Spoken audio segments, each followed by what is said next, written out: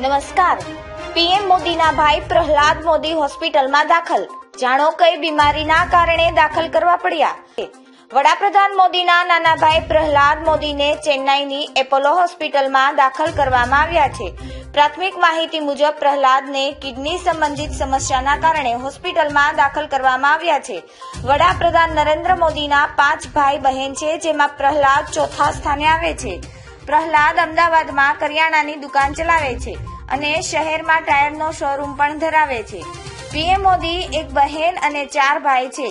સોમા મોદી, અમૃત મોદી, પંકજ મોદી, પ્રહલાદ મોદી અને બહેન વાસંતી મોદી.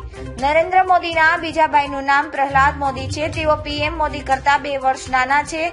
એક ઇન્ટરવ્યુમાં તેમણે કહ્યું કે તે અને પીએમ મોદી બહુ ઓછા મળતા હતા. ધન્યવાદ.